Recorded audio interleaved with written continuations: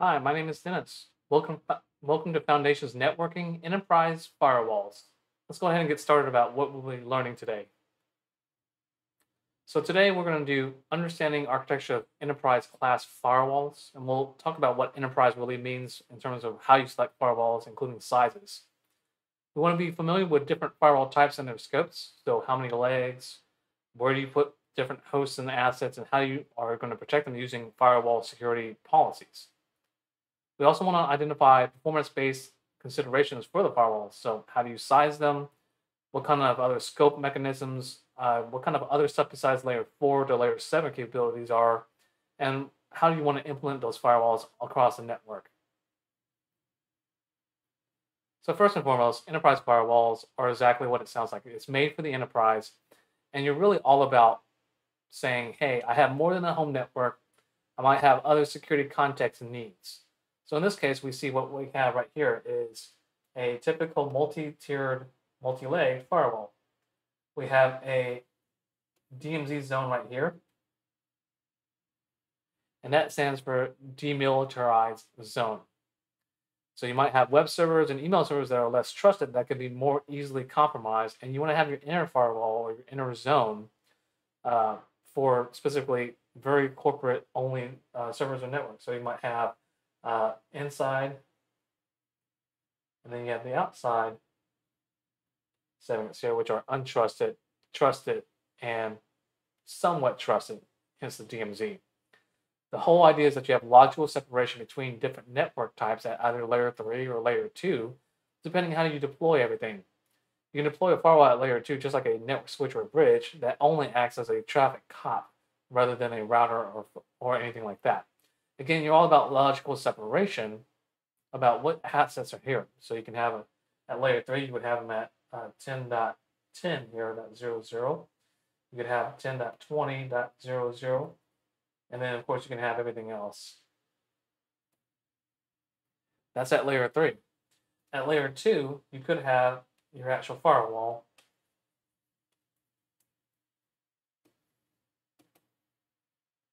still be at 10, 10.00 and 10, 10.00 here, but the traffic analysis only happens at the firewall level as opposed to having routing and NATing accordingly. Okay, so let's get deeper into what that really means and how you have ACLs, access control lists, as well as stateful firewall rule controls as we move further into that concept. Now, the one thing to keep in mind about enterprise firewalls is that you have the concept of host-based firewalls and network-based firewalls. So network-based firewalls are all about north-south security, stuff coming in and out of the network and from your uh, corporate zones. So servers coming in and out of other networks and internet is what you're talking about network north or south visibility. For east to west visibility, we really have the concept of host-based firewalls. So can I see anything from going host one to two as opposed to relying on the firewall in the network? And host-based firewalls will allow you to do that because you have host to host, east to west visibility accordingly. Now, when you have something in the DMZ, which is less trusted, you might have the need to have host-based firewalls in tandem with your network-based firewall, so you have that complete visibility that if an attacker got a hold of a DMZ asset here, and they start attacking other DMZ assets, you won't know using a north to south only firewall because you'll only know if they're trying to get into the internal corporate network at that point. Maybe their mission is not to actually get into your internal corporate network, but maybe just cause chaos inside your DMZ based on where you're hosting assets today. Now, your implementation architecture depends on a lot of different items. To our left here, we see multiple vendor types, Cisco ASA, uh, Palo Alto, Barracuda, Sophos, Checkpoint, FortiGate, and really all they're about is being unified threat management. They don't just act as a normal layer three layer four firewall. They may have application context awareness. And they these are the physical appliances on what some of them look like from a rack mount server. However, some of these can also come into the form of virtualization appliances, as well as cloud-based firewalls as well. We want to consider things like network throughput speed and security inspection requirements, hence deep packet inspection, sometimes called DPI. You also want to look at your budget. Cisco ASAs, Palo Altos, they're kind of up there, but when you look at um, smaller vendor brands, they're made for smaller businesses. And so maybe you need that functionality, and maybe you don't need true line speed 10 gigabit per second performance, but you could do with 1 gigabit per second, and the licensing might make more sense to you. More visibility generally means better performance in terms of a security architecture requirement. You also want to look at which ones support high availability. Can you have two for every one? Can you mix and match with other firewalls on high availability? The hint is usually not. You also have network architecture items. Which one can operate at layer two? Well, not these, but what operate at layer two in terms of transparent firewalling. Well, Palo Alto does that, and Cisco ASA does that. Uh, not out of the box, but you have to use their SourceFire layer edition, uh, later edition models. Ultimately, it's about what the combination is, what you need in terms of your network architecture, and your use case requirements. So, for instance, you also might have software defined networking. Well, you might create and reduce resources or change configurations based on what's called an SDN controller. Which one of these has that configuration capability? You don't know yet until you actually get into a um, solution architecture and implementation strategy when you do your planning and budgeting. Now, one thing to know about sizing and speed across almost all of this is throughput. Right? Throughput is how much actual data you can measure going through X pipe in a test. So, for instance, if you have a firewall that claims they can do a full uh, X amount of throughput, that says based on a certain test using this medium, such as Cat6 cabling, we were able to get an actual total of uh, one gigabit per second line speed. The bandwidth, however, is a little bit different. Bandwidth basically says if you have a specific cable, such as Cat5e, Cat6, Cat7, and those are copper, the theoretical bandwidth is that you can actually have one gigabit per second um, across up to 100 meters. However, this is different for fiber, which could be 10 gigabits per second over 100 meters. It depends on what your actual bandwidth is, and that's the theoretical limit of the actual medium. Throughput is the actual in real life testing of how much data that can be processed at the uh, way the architecture and what the vendor is capable of for their software sitting on the actual appliance as opposed to just only the theoretical output of the cable itself. When you select them, make sure you understand what throughput means to them and how they measure performance. Here, for instance, we see that there's a UTM mode, which is Unified Threat Management, that has full scans of packets. Full scans meaning TCP, all the payload, uh, and inspection at the stateful firewall level and better. However, at the firewall level, they actually define something interestingly different here. And this one is this WatchGuard. They say using UDP port uh, with 1518 in terms of bytes, you can choose to get 19.6 gigabits per second as opposed to a mirror 2.1, which has stateful readiness. Look at the huge drop difference. Now that you would think UTM means Unified Threat Management, which includes antivirus, uh, intrusion prevention system modules for signatures, not in all vendors. Cisco and Palo Alto include that information accordingly, but WatchGuard is about a little bit more tricky. They actually say antivirus and IPS are actually different. Full scan versus fast scans, which could mean incomplete scans, you actually drop down in performance quite a bit, and you can get up to 3.5 gigabits per second using antivirus enabled, um, and up to 3 gigabits per second for using full IPS scanning enabled. So you have to keep that in mind when you're utilizing one or more different solutions together in terms of what kind of feature sets you're looking for and what your network actually needs. Now, what your network actually needs, you need to determine it based on how much data that you're actually pushing through that pipe. Do you need truly one gigabit per second? And here on this table that I have here, it's based on data set sizes. If you have petabytes of data, you might need a lot more. So to transfer uh, with a, a, a 10, ter- 10 petabyte item in one minute, you need to have 10 terabyte, actually 166 terabytes worth of throughput a second. If you want to transfer that in an hour, well, you might have to have 2.78 terabytes per second. Now, think about this your home connection, most people are in the megabits and gigabits per second. Right? So that's really interesting kind of news here. So what you're really looking at is what is the right mixture? What is the right combination of how large your data set is to how much time you can bear or how much throughput speed you need. If you have a line that operates at 100 gigabits per second, then you need a certain amount of throughput capable of that. So your firewalls must have 100 gigabits per second throughput to actually accommodate for your data set and transfer requirements. Don't be fooled by bandwidth. You need to measure based on throughput. And how do you measure how much pipe you need for your throughput? It's always based on the size of your data and your tolerable time to transfer that size of data. Keep that in mind as you're going forward as you architect your network. Now you also have security zones. Now we talked about firewalls and enterprise firewalls specifically having security zones. Here is a actual diagram of a very, very basic security zone segmentation. You want to do it based on logical switching of things like servers, workstations, anything that has different security trust or context. Here we see that we have multiple routers and switches and logically connected to a firewall. That firewall has, in this case, three different legs. We have a demilitarized zone, where we have all our public facing information that in case they get compromised, we don't have automatic clearance to compromise the rest of the network. Now, why do we have security zones? We have security zones because what if you only have one security zone and these were actually in here? If you come from the internet, you can actually compromise laterally, east to west, everything instead of just compromising just this part and having to work your way here based on a security policy. The whole idea of security zones is that you want to have different layers of trust and different layers of security. So we have a three leg firewall here, multi homed. We have a local area network that has workstations and servers attached to it. You can even have four zones, right? You can have your DMZ. Actually, let's clear out that screen just a little bit more. A little messy for me. And then we can have actually four zones if we really want to. We have our outside here, our completely untrusted. We have our DMZ here. We have our servers, which are uh, high trust, high requirements, so server zone here. And we have our local stations, which are desktops.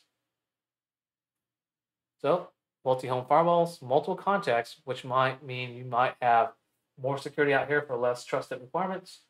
Lots of security here, maybe a medium level of grade security here, because, well, let's face it, users get infected all the time, but you want to make sure that you have policies restricting direct access to servers whenever they want. The more security zones you have, all the more administrative overhead you have, the less likely you're going to have multiple parts of your network compromised in one go. Networks that only don't have any security zones, just the concept of inside and outside, such as your home network in most cases, outside, inside, right? That is a flat network. So if you only have an inside where you have wireless AP in your house and you don't have multiple security zones, hence multiple layer three networks in that case, you might be compromised completely. If someone got to one workstation, they're able to hop into other um, east to west base boundaries, and the firewall can't do anything about that for you because you don't have multiple home zones.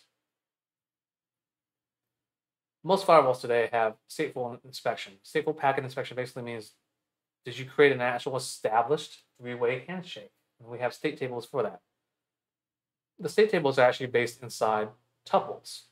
So tuples based on source, port, source address, destination address, and destination port, and whether the TCP connection is established.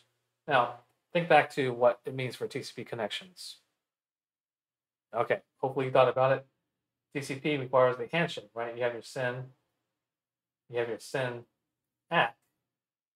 And then you finally have your ACK to create an established connection.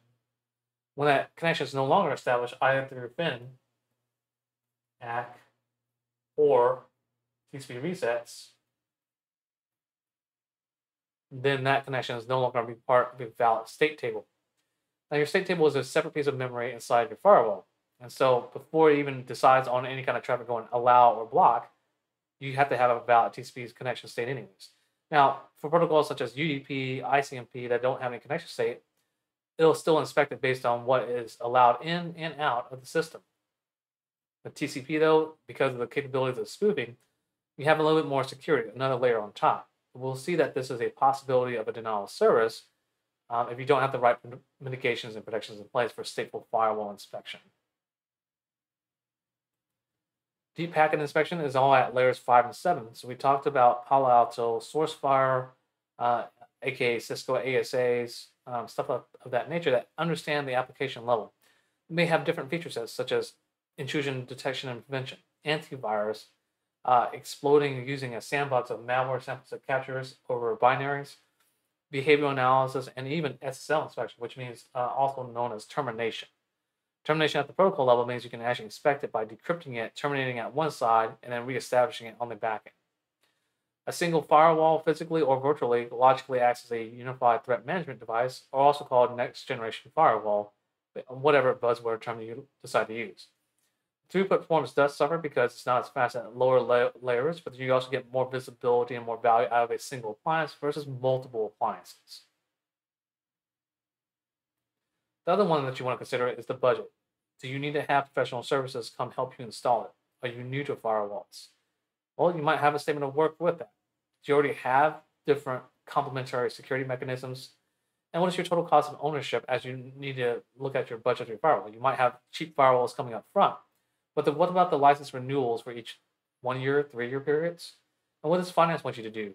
Are you allowed to allow to use three year renewals as opposed to one year renewals based on their tax reporting requirements?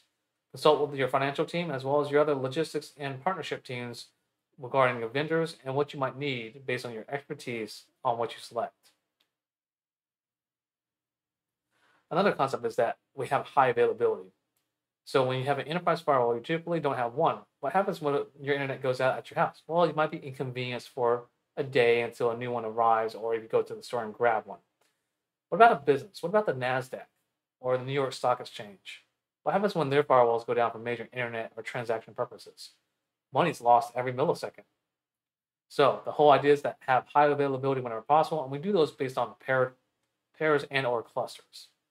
We have multiple concepts, including active-active, which traffic flows uh, inbound to both series, or you have active-passive, where only one switches over during a uh, failover. So if the hardware fails over on both sides here, this will start becoming um, this will become your new actual firewall on firewall cluster B. Now, there's also the concept of pair versus clusters. So a pair is obviously two. This can be one segment here and one segment there. But if you don't have cluster capability with multiple pairs, what if one goes down? Or what if you need to scale up? Well, you need to have 10 gigabits per second versus 1 gigabit per second will you be able to add more firewalls to the cluster? Because you can't just replace firewalls at willy nilly when you when you want. Most of the time, pairs inside clusters for high availability require of the same size and modeling in most cases. If you're able to cluster firewalls at different sizes using the same operating system, you might have more flexibility and scalability accordingly. Remember that pairs are just pairs. They can operate active passive on physical device links, and clusters are made of multiple pairs whenever possible that allow you to scale up and horizontally in terms of new speeds, capabilities, and general compute power whenever possible. Firewalls also fail closed. So if you also have a firewall that just you have one firewall total, they fail closed. So if you have your, only one of them together, you have no more network traffic in those cases. Now, you saw clustered pairs. Now here's unclustered. Here's what it looks like. You have two different links, but you only have two actual devices, virtually or physically. If one goes down, the other one has a backup. However, you can't scale anything past that. So you would have to actually scale up, let's say, and replace both of these from going one gigabit per second to 10 gigabits per second. So you have to replace both at the same time, creating a larger outage window. Now, here's something more interesting to even think about as well in your terms of your total architecture. Let's say I have active active.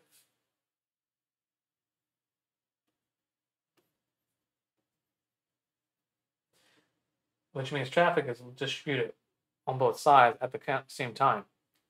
What if I have 100% going on here and it needs to fail over and this one's already operating at 50%? You'll have 150% worth of traffic coming in and both of them might fail or this one might operate in a completely degraded state or the the uh, traffic for the failover might be dropped and have to re, be reestablished. So you don't have an actual stateful failover, which means your connections will also be dropped and the applications would have to resend that traffic. Think back again to about things like NASDAQ and stock trading. If you had a failover without stateful failover, aka seamless failover, what do you think is going to happen if you had to make a trade at that very millisecond? Well, your application would have to reestablish that connection, and that section of timeout might be 30 seconds, five minutes, or one minute. Every second you've lost there for that transaction that didn't go through is money lost. Keep that in mind as you're creating clusters versus pairing in terms of the high availability of your firewall architecture. Now, on much larger network architectures, you might have different things. You might have network switching cores. You might have multiple multiple partners. You might also have Internet of Things and many other things that go. You have to keep in mind with the network engineering team what their plans are. So plan ahead and plan early and understand strategically what they're moving to. Some of them are moving to different types of architectures, such as spine and leaf, away from the three tier modeling design, or some of them might be going to all cloud. Your firewall must be logically capable of implementing at their network architecture level accordingly. How do you fit into the piece? So think about speeds, architecture types, and future plans, and always consult with your network engineering team at the very start of your beginning of your project. Now, what are common network architecture types? Well, you have typical three-tiered architecture. There's always trouble in threes. So when you think about it, you have access layer, distribution layer, and core. Core has your fastest layer of switching, which routes between networks at layer 3 and layer 2 potentially. Logically, you might have distribution layers, which are about uh, usually closer to your access issues, such as servers that are uh, at a parent region. And of course, you have your access layers, which are things like different data centers amongst each other, as well as different workstations on a specific VLAN. Just know that the aggregation doesn't happen uh, but at the core, which has your fastest switching capability and routing capability. But remember, there's upstream links at each one, and those are only so fast. And while there may be redundant upstream links, you are still limited based on how fast upstream links are, which could be 10 gigabits per second, or 1 gigabit per second, or anything faster. The point is, you have to go up and back, up and down in the hierarchy chain to get to certain errors. You don't have east to west direct connections from uh, this access WAN to this internet WAN right here. You can't go across. You have to go up to the distribution layer, eventually to the core, and back down again, which creates an inefficient capability. But for a long time, that was as efficient as it gets based on the original technology that you have. It's heavily focused on proximity efficiency and hierarchy based. Now, spine and leaf is a completely different architecture type, and that's a more modern one, which is what we call software defined network ready. Here you have a huge trunk, if you will, a leaf, and all leaves are connected to the same spine, which you have all core structure. Look at how many links that you have. So you have multiple redundant links at every single leaf side, so everyone has east to west visibility and switching. Now, when you think about firewall visibility, how will you actually see stuff like that? Well, you have to have firewall contextually aware and implementation capable spine and leaf architecture usually at layer two, and you might have to have a combination of host and network-based network-based IDSs right here, or IP uh, network-based firewalls right here at this level, while you might have host-based levels at the leaf only, leaf to leaf level. So keep that in mind as you go through. Spine and leaf, you're removing a tier and you're adding a wide variety of cross-functional traffic, east to west traffic. Here it is again, in case you need to have another um, breadth of understanding and, and simple context. We have a multi-tier architecture that's hierarchy-based. Aggregation tends to happen at the distribution layer, and you have multiple links. However, with two-tier spine and link format, everything happens where everyone has a huge uh, connection to the backbone, and you have lots of east to west uh, traffic. So I have going up through the core as a rainbow here. I can honestly just go through here a little bit easier in most cases. So I'm skipping an actual abstraction here instead of going to the spine where my core switching and fastest speeds need to be a part of. Now, software-defined networking is exactly what it sounds like. You define a network based on software needs, and you have traditional items. So instead of you having what we did in different modules, which was actually program each different device and make sure that each of these configurations were compatible, you have programmable switches and routers virtualized or based on hardware requirements, and you have a controller. Utilize infrastructure as code, or software as code, or architecture as code, whichever you want to call it. Cloud uh, architecture works the same way. You have a concept of a controller and code that says I need my switch or my, my routing and my network to operate on a very specific basis, a very specific basis, and it programs this based on devices and what makes sense. So another layer of abstraction and not having to require you going into router A, router B, router C, and hope that you make the correct configurations at each point. This is called software defined networking, and it's a really interesting concept because the cloud already implements this on a regular basis. Now, when I say infrastructure as code, I mean cloud natively does this for you. One popular one is Terraform.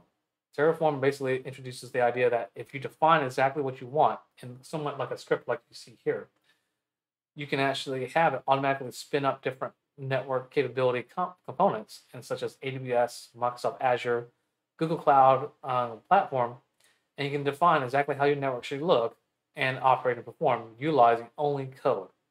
So amazing. It's really hard to do so inside a private cloud on premise. But using public cloud providers and services, they already have mastered this for you and can reduce your total cost.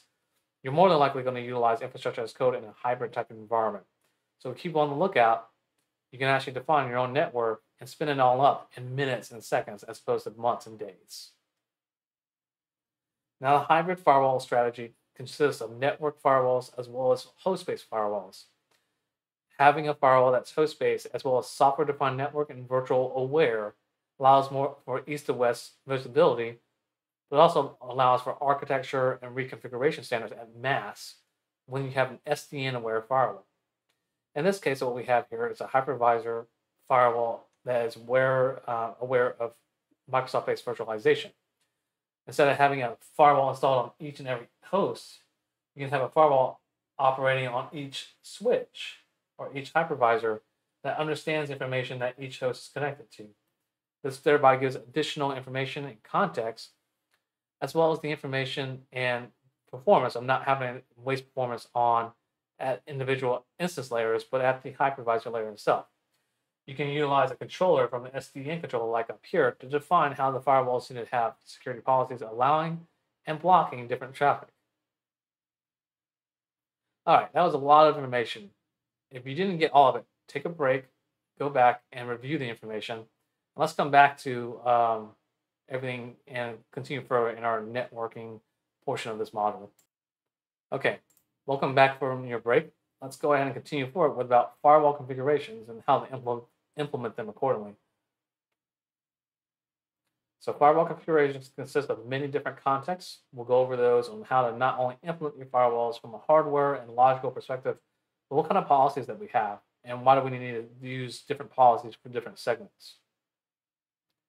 First and foremost, policies. There's always one policy for every um, layer at layer three. So one policy per every network segment leg. This policy is from a checkpoint enterprise firewall that says you have allows and denies according to our tuples here, right? Source and destination, uh, a group, a service and action, which is drop or deny, log it, and deploy it across different firewall types. We have security zones, such as the DMZ internal corporate network, or the outside untrusted interfaces that you apply different policies to. The policy consists of multiple sets of rules, and they always operate on a top-down hierarchy of order processing. Here are the rules as, I, uh, as I've circled already.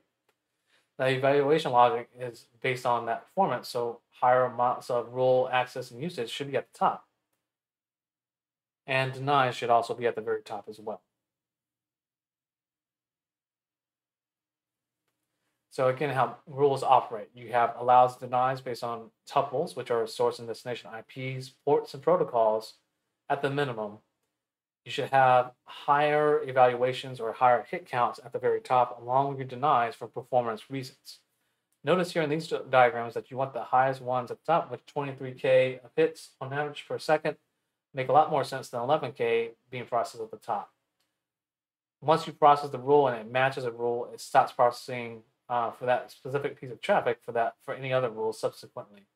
You want this for performance reasons as well as safety reasons because you wouldn't want to deny traffic only after you've allowed it. Deny rules are always at the top. High traffic rules are always at the top. And there's implicit cleanup. So although you don't see it right here, anything else is any, any, any deny. All right. So you want to practice the least privilege requirements by reducing your rule set types and ordering the rules based on the best performance possible based on that ordered evaluation and performance. Remember, the more rules you have, the more is loaded into memory. So let's think about how we actually have northbound and southbound traffic security and policy context. How would we do policy management across east to west? Other than network firewalls, you have to have it on each host-based policy. So this host will have its own policy, this host will have its own policy, and that becomes very cumbersome. If you have an enterprise management solution or an SDN-aware firewall software, such as Symantec or something of that nature, or McAfee EPO, you could have a single policy distributed across multiple assets based on tags or aware items. Or you have an SDN controller, for instance, and it says, based on my code, infrastructure as code, reconfigure all these and these switches here accordingly and control all of this via a single code or a policy context standpoint. Now we're going to get into a concept. We talked about NAT in previous modules, but we didn't talk about what NAT really does other than it being a translation. Yes, there's a translation of source and destination IPs, but what direction and what else is beneficial to that? So NAT translates different IP addresses from public to private. PAT, on the other hand, is its cousin, which is port address translation, which basically means I have NAT plus ports. So instead of just translating a pair of IPs, it will do also source port and destination port just like you would do um, with a Azure firewall rule. So let's get down into why we have PAT and NAT together when we can only uh, we already have what's called a reference as NAT. You actually have a PAT at your house because they're actually utilizing ports. We'll see that in the upcoming uh, slide. First, let's understand the difference between NAT and PAT directions. A destination NAT goes towards the host, okay, it towards the host from the outside, untrusted to trusted. Source NAT egresses from your host to the untrusted side. That's all it really means. Don't let it get too confusing. Remember that destination comes to you, source comes from you to somewhere else.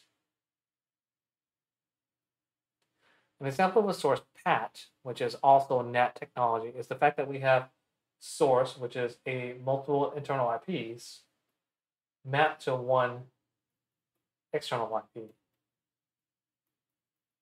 And then there's a translation that happens at a table, just like with stateful firewall rules with source port, destination port, and then provides a kind of a termination of a connection outbound to the initial destination. So if you have multiple source IP addresses contacting a web server at the same time over the same port, each of those, based on source NAT or source PAT, will have a likely different source IP address and source port number associated with that combination.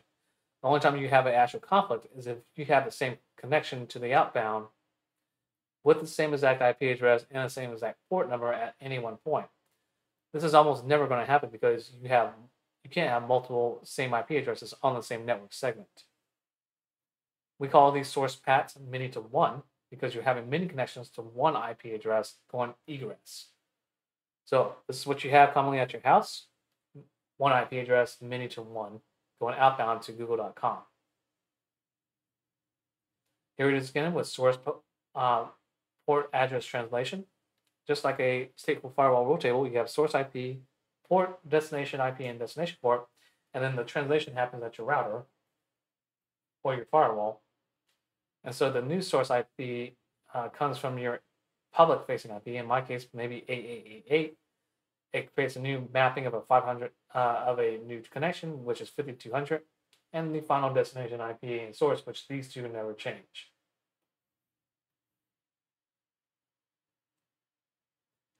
Destination PAT is the complete opposite. Think of reverse proxies or load balancers.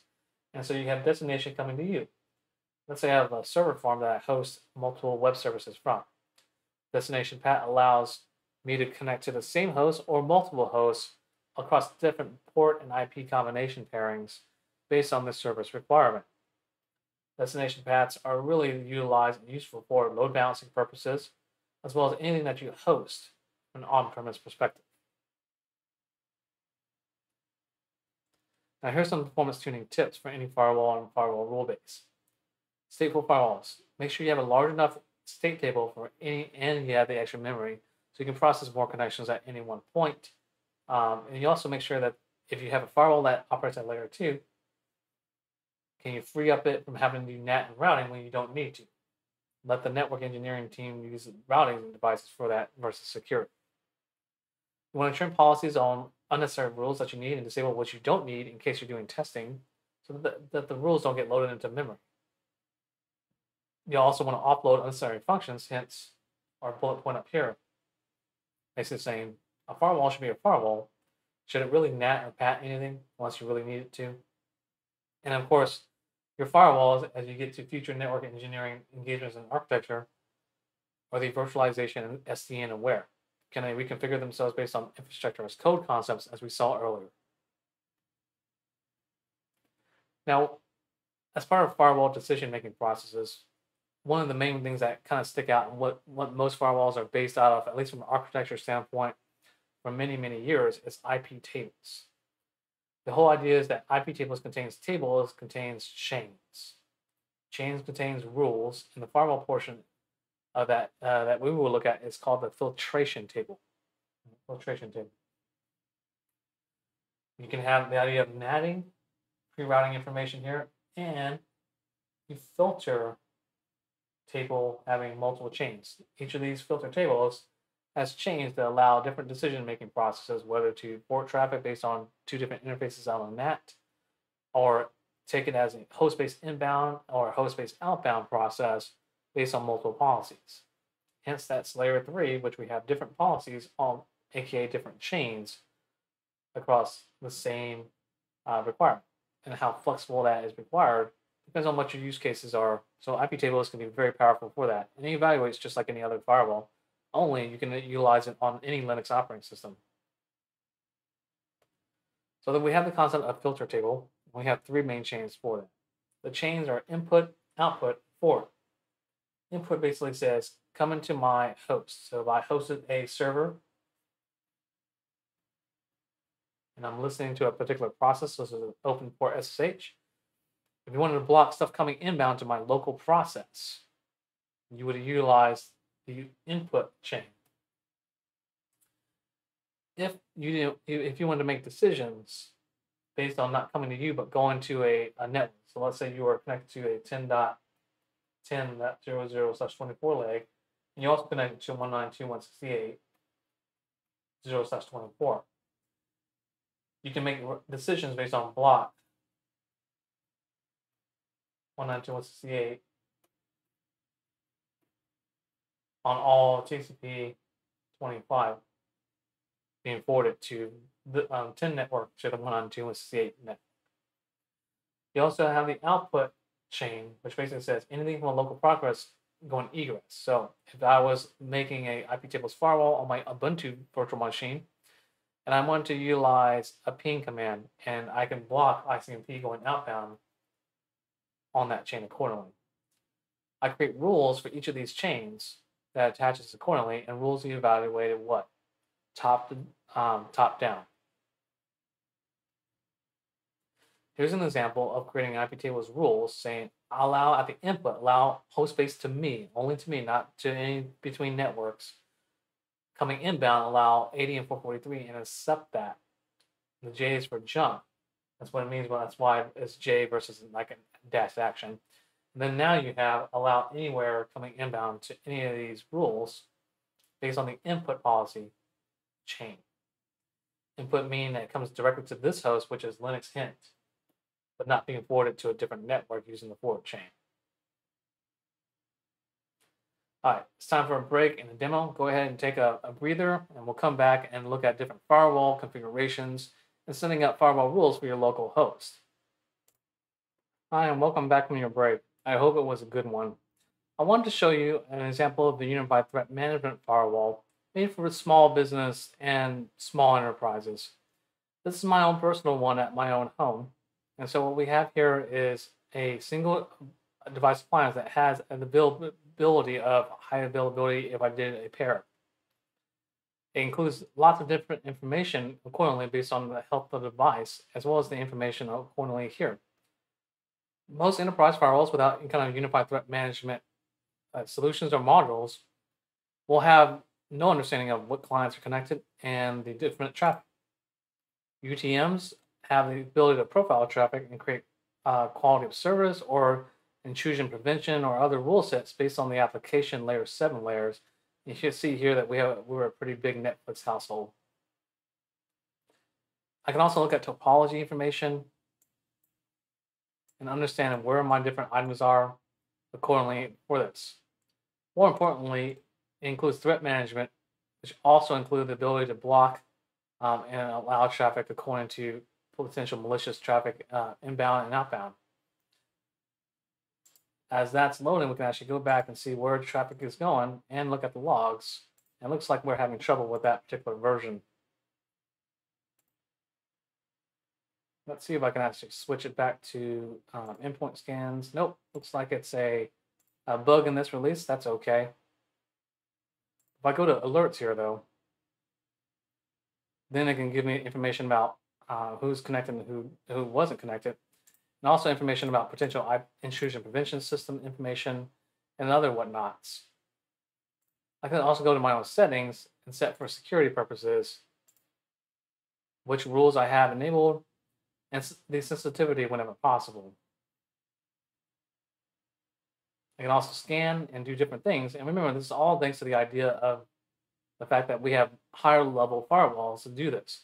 Now, these are uh, made simple for most uh, small, medium business management purposes, but not all firewalls will have the same interesting looking interface. Just know that the Unified Threat Management typically has a lot more details and information about how you can create policies against where, where you have this. So let's go into another aspect of your Ubuntu virtual machine. I've installed UF, uh, you already have UFW, but you might install the app search UFW GUI version, which is GUFW. If you install that, you might have all this installed as part of a requirement. Now I'm inside as a root right now using sudo bash because it's just easier. And I now I'll have the UFW firewall, and this has a huge amount of chains and information, policies, and rules that are applied, allowing anywhere for UDP and TCP and other information that I may not want. UFW status, give me that as active. If I go UFW disable, then I can go IP tables that L again, and notice that all these rules are now gone except for these, unless I flush the table. Still have internet connectivity. The UFW stat uh, UFW enable, which is uncomplicated firewall. And of course, I can use my GUI to go ahead and allow this too. I can go to my rules. I can have a profile status if I want. I can also add rule names. So I can allow and deny inbound category or subcategory, or I can use simple rules or advanced rules based on what I'm looking for. Let's use my rule name of test. I want to block direction inbound, UDP coming in for 53. Right? Add that rule. And I add it for IPv4 and IPv6. Let's go into IP tables.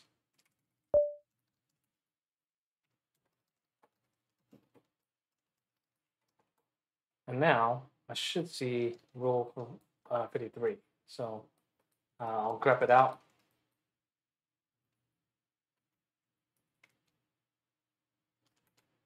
Don't have anything for DNS. How about DNS? There we go. So it resolves this for me and allows stuff anywhere, including multicast, coming inbound to um, multicast DNS here. We can try UDP. And here we go. We have a sub anywhere, subdomain state, and we have drop right here. Drop anything UDP domain from anywhere, anywhere. Now, this is interesting because If you go back to your IP tables information here, you have all this information that you have to expand upon and understand where, where each one goes to. Well, let's say I don't have a GUI anymore. Well, we can certainly do something like this. So let's go ahead and delete these. And then we'll quickly look up UFW examples. We'll use this. And now we can utilize the same kind of concept premise, which is, well, if I want to block everything from this original source, I'll just type in UFW deny from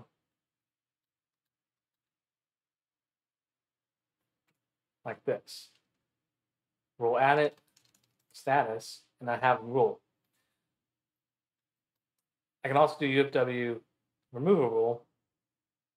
And to do that, we'll look this up accordingly. UFW man page, manual page. And now we can also do removing a rule. We use delete the rule based on the number. Okay, that sounds pretty good. UFW delete the first rule. Yes. And now if I go UFW status, all rules are now removed from there. So what does that look like in terms of actual items for what we need to use? Well, we can use UFW, which is a wrapper, add that rule one last time, and, and look at IP tables.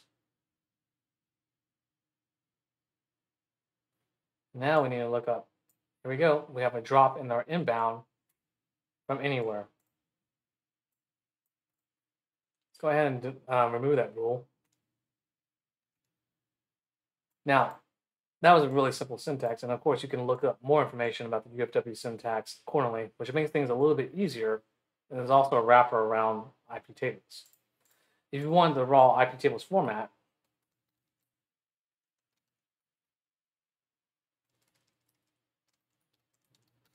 simply look it up here.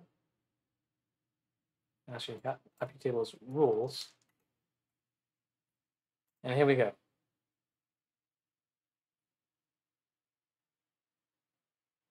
you would want to specify the IP tables command, adding a rule to a, a pin, aka a pin, to a chain, right?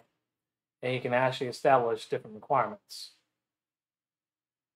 such as inbound to an Ethernet from the source, drop all traffic coming from that source based on that action, which is the jump command.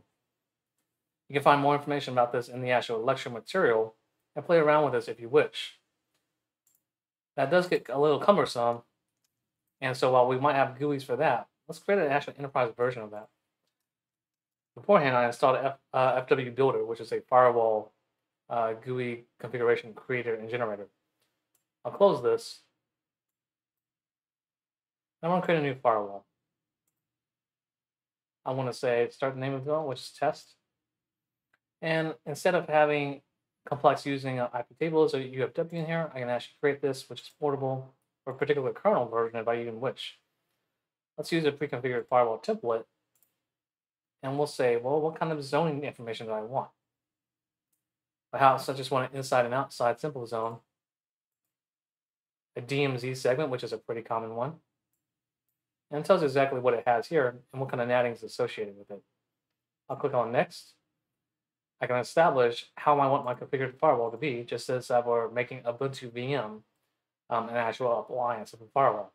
I'll leave these default for now, but notice how the different layer 3 segments occur based on DMZ, inside, and outside. I can also have IPv6 if so desired, and dynamic DHCP or static IP address default. Finish.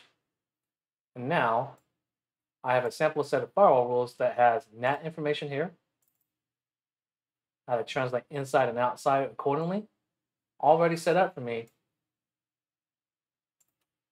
Now I can set my policy as well. I can set my information about the objects in here.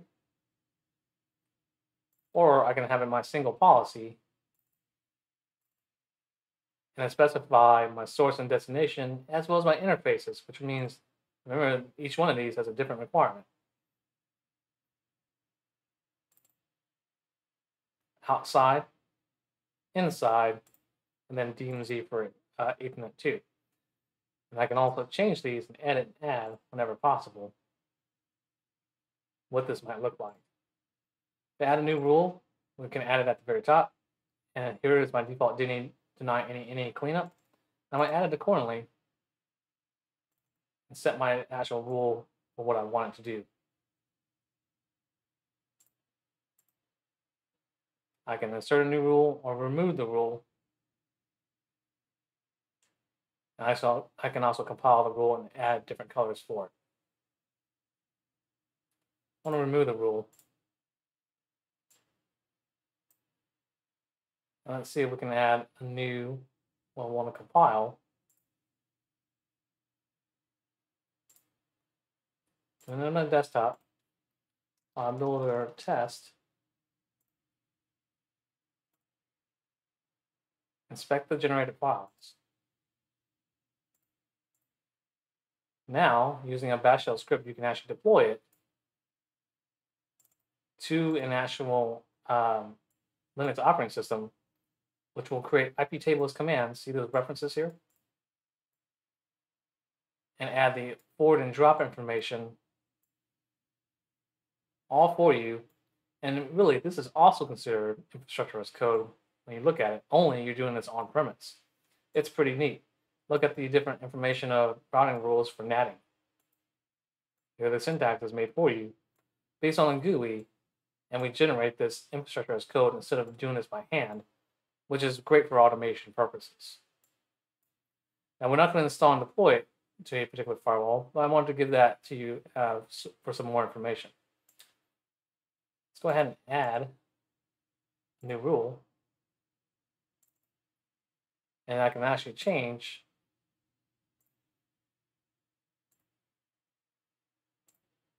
I can actually change this accordingly too. So I can actually drag and drop objects like address ranges into this and change the direction such as accounting, queuing, um, and the direction state. So it's the interface that makes the most sense. So that's how you utilize infrastructure as code from a GUI on-premise perspective and you can create different firewall rules for actually different types of um, uh, commands and items. So if you wanted to actually create one for a Cisco ASA, you'd create a new firewall accordingly. So we'll close this one. Create a new um, a new firewall. I'd rather just start from the beginning so I get the nice little wizard. I use the and so it returns back to me create a new firewall, test, and instead of IP tables, I can use Cisco ASA.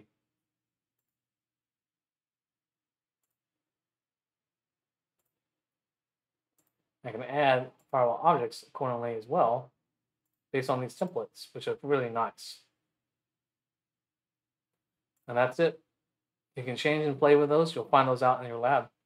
Thanks for watching. We'll see you next time in the next module.